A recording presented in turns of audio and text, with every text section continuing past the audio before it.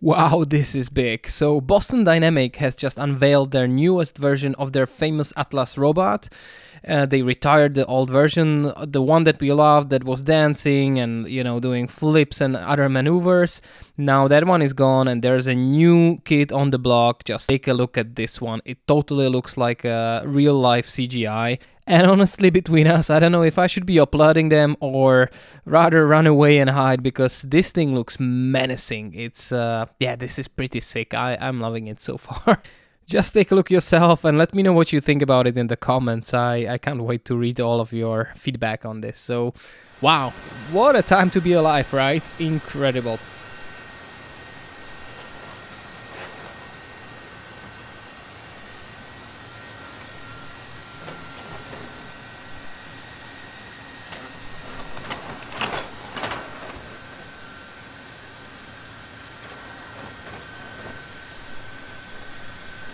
Anyways, thanks a lot for tuning in and enjoy. Take care. Cheers. Bye bye.